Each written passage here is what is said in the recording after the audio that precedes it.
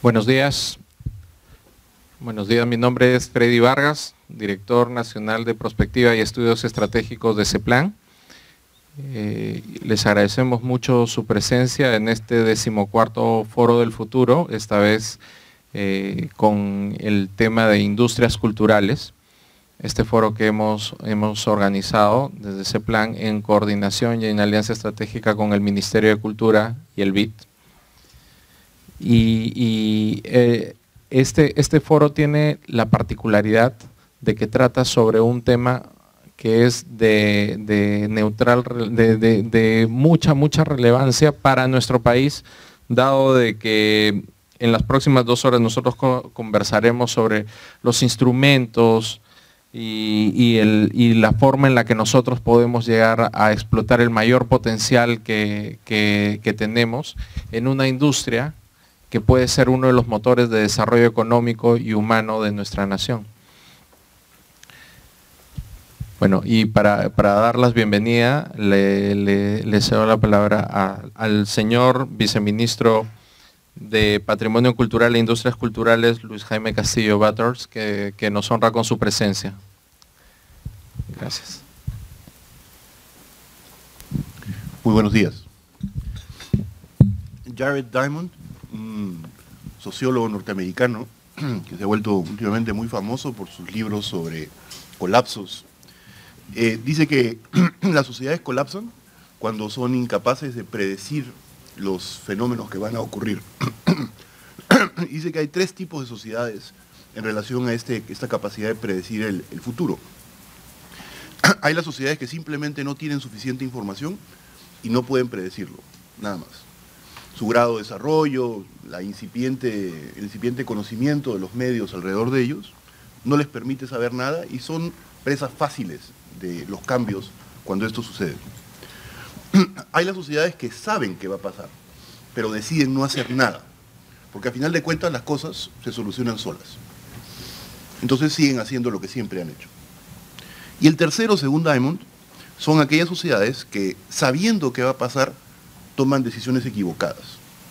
Es decir, en vez de aprovechar las circunstancias, ¿no es cierto?, hacen lo opuesto a lo que deben hacer. Según Diamond, nuestras sociedades son sociedades que se ubican más o menos entre la segunda y la tercera categoría. Nosotros sí sabemos qué va a pasar y podemos hacer el ejercicio de predecir el futuro. Tenemos suficientes elementos de juicio, pero sin embargo, o no hacemos nada o tomamos decisiones equivocadas. Y eso puede ser un problema, porque esto se cifra en un libro que trata sobre el colapso y que habla como de las poblaciones en las islas de Pascua, las poblaciones en Groenlandia, por ejemplo, las poblaciones en la zona central de México y Guatemala, los mayas, ¿no? los mochicas del norte del Perú, colapsaron en su momento por su incapacidad de reaccionar ante los cambios que podían haber predicho. Yo creo que en el ejercicio que vamos a tratar de emprender hoy día, y en relación en realidad a cualquier cosa, la capacidad que tenemos de reflexionar y pensar en el futuro y tratar de predecirlo, no en el sentido de la bola de cristal, sino en el sentido de las direcciones eh, que vamos a tomar, tenemos que hacer eh, estos ejercicios, tenemos que tratar de saber qué va a pasar y en función de lo que podamos decir que va a suceder, tomar decisiones. Desde la perspectiva del Ministerio de Cultura, las industrias culturales son definitivamente o deben ser en el futuro y van a ser en el futuro no solamente una fuente de diversificación productiva, no solamente una fuente de inclusión que va a incorporar a la economía sectores que en ese momento no están favorecidos. No solamente una fuente de diversificación de una base económica que es en nuestro país muy pero muy dependiente de las materias primas. Es decir, tenemos muchas posibilidades, sabemos que vamos hacia eso.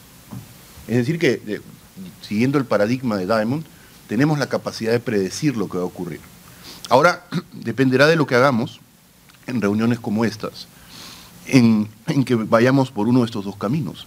O no hacemos nada y dejamos que las cosas de manera orgánica vayan creciendo y ojalá que crezcan positivamente. Y si no crecen positivamente, ¿no cierto?, habremos desperdiciado otra oportunidad más. O quizás, y ojalá que no ocurra eso, tomemos decisiones equivocadas. Decisiones equivocadas de la perspectiva de las industrias culturales parece ser, por ejemplo, el hecho de no tener fondos que permitan que se desarrollen incipientes industrias culturales. Decisiones equivocadas parece ser el hecho de que no, no hayan reconocimientos, premios, no hayan dineros, ¿no es cierto? No hayan los insumos que se necesita para que estas industrias puedan florecer. Y en nuestro país eh, definitivamente tenemos un problema que tenemos que enfrentar, porque si vemos el contexto que nos rodea, donde hay un apoyo decidido y fuerte para el desarrollo de estas industrias culturales, el cine, ¿no es cierto? el arte en general, estamos en una situación donde claramente pareciera que estamos tomando decisiones equivocadas. Es importantísimo reconocer que esto es lo que estamos haciendo para poder cambiar el curso. Y así como las sociedades en su conjunto que se embarcan en esta línea no pueden eventualmente llegar al colapso, podríamos nosotros perder nuevamente otra oportunidad y no desarrollar algo que tendría estas características tan singulares. Muchas gracias. Muchas gracias. Muchas gracias al señor viceministro. Eh, a continuación, las palabras del, presidente de ese plan, el señor Carlos Anderson. Bueno, muy buenos días a todos. Antes que nada, quería eh, darle la bienvenida a todos ustedes a, esta, a este decimocuarto Foro del Futuro del CEPLAN, y en particular quiero darle la bienvenida, por supuesto, al viceministro Jaime Castillo Butters, a Fidel Jaramillo, representante del BID en el, en el Perú, y a nuestro experto, el señor Felipe Buitrao, que viene de Colombia, ¿no? Tenemos también al señor Rodolfo Hamawi desde Argentina, y tenemos Argentina y Colombia, dos países realmente paradigmáticos en lo que refiere, lo que se refiere a las, a, las industrias culturales. Yo quiero este, tomar un poco el comienzo de, esta discusión eh, acerca de futuras industrias culturales, tomando la línea del señor Castillo acerca de predecir el futuro. En realidad, eh, quienes habla pues tiene formación de economista, ¿no? Eh, y los economistas en general somos vistos como los gurús, los que tienen la capacidad de mirar la bola de cristal, ¿verdad? Y predecir el futuro. Pues en realidad nada más equivocado. Los economistas no tenemos capacidad para, para mirar el, futuro, ¿no? El futuro no lo conoce nadie. Sin embargo, podemos entreverlo. Y ahí justamente viene el papel fundamental del planeamiento estratégico. Si me permiten un par de palabras acerca de lo que en CEPLAN entendemos como planeamiento estratégico. Básicamente, eh, para nosotros el planeamiento estratégico eh, implica dos cosas. Uno, un tema aspiracional, el tema de decir qué queremos ser. El Perú evidentemente hoy en día está insertado en el mundo como un país productor en particular de materias primas, ¿verdad? Eh, no, somos reconocidos como un gran proveedor ni de, ni de productos ni de servicios de alta tecnología. Tenemos una industria del turismo en particular que es básicamente de carácter cultural. Me decía que el, ministro que el 90% de las razones por las cuales los turistas llegan al Perú es por visitar nuestra gran riqueza, nuestro gran patrimonio eh, cultural.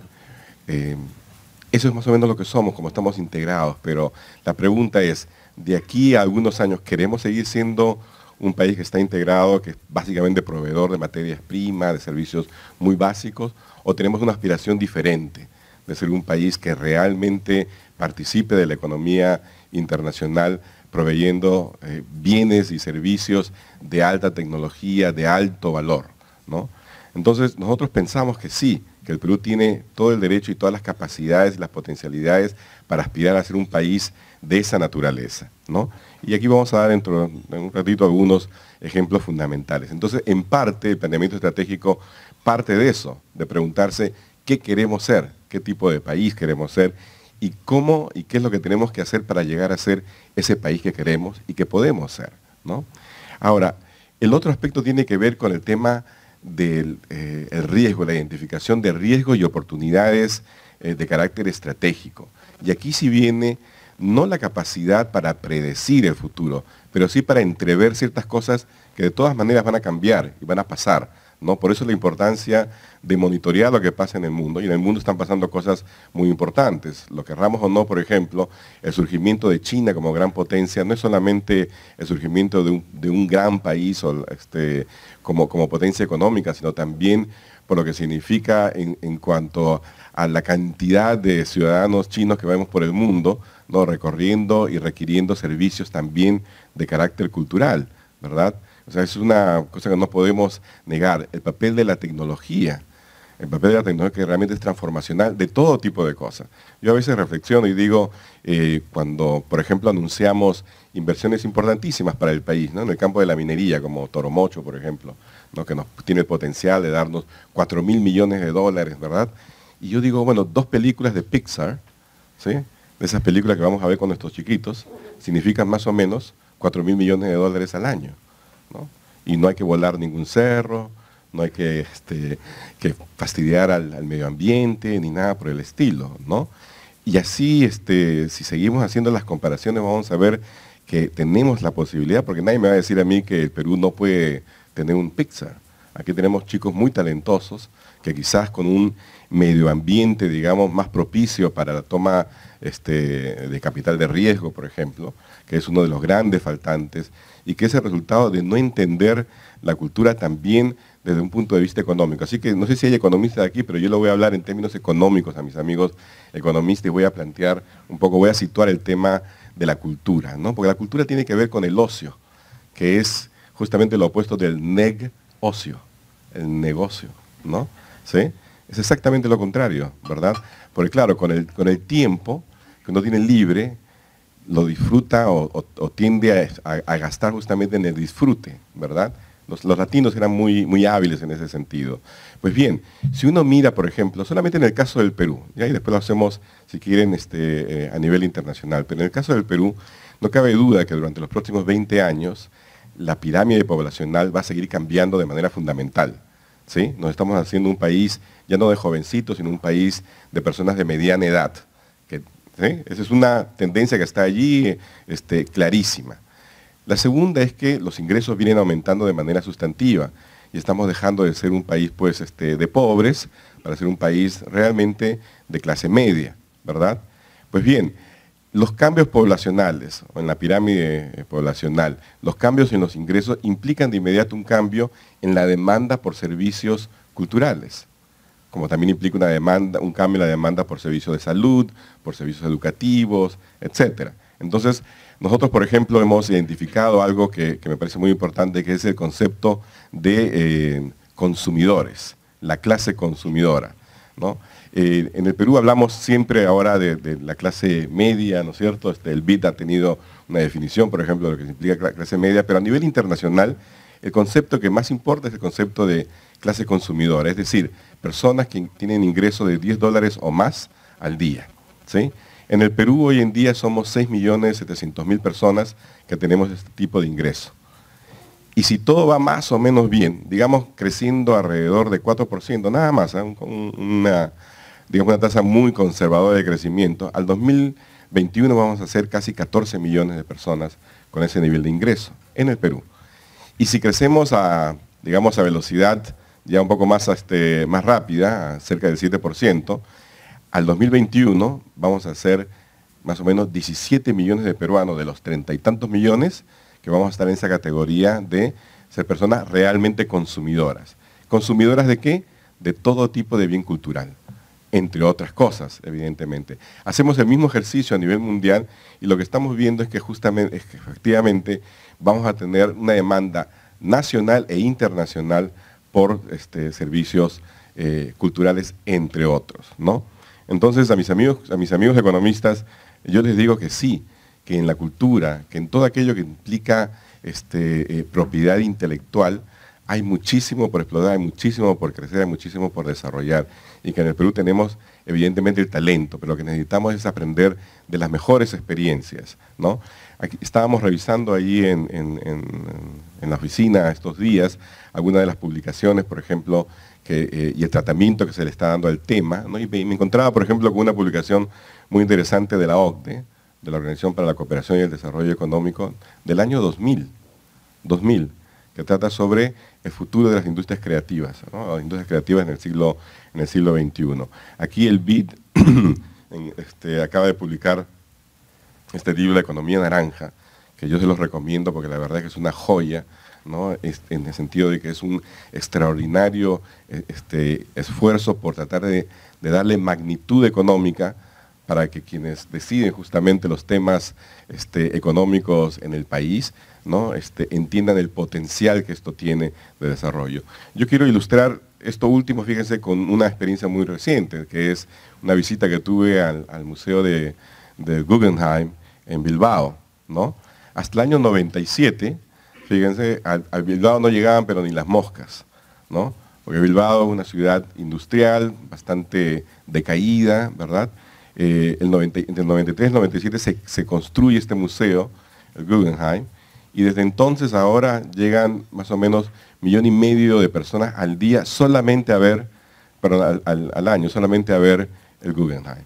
¿no? Son 15 millones de personas que ya lo han visitado. Y si nos ponemos a pensar, en el Perú hemos celebrado el hecho de que tengamos 3 millones de turistas, que incluso yo diría, habrá que ver cómo los contamos, porque personalmente como voy y vengo fuera del país, pues yo figuro como 15, 15 turistas solitos, ¿no? Si no más, ¿verdad? porque tenemos problemas de carácter estadístico, tenemos problemas para entender realmente la magnitud de esta industria. Entonces, nosotros, evidentemente, como nuestra preocupación en ese plan es el Perú del mañana, es la visión de mediano y largo plazo, no hay nada más natural que tratar de entender y comenzar también a impulsar el, desarrollo de esta industria que realmente, este, cuando yo pienso en futuro, cuando pienso en un Perú industrializado, pienso en un Perú esta naturaleza.